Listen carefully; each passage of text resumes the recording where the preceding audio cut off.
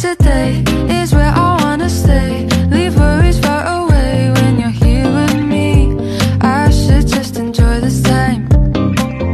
In case we end up leaving all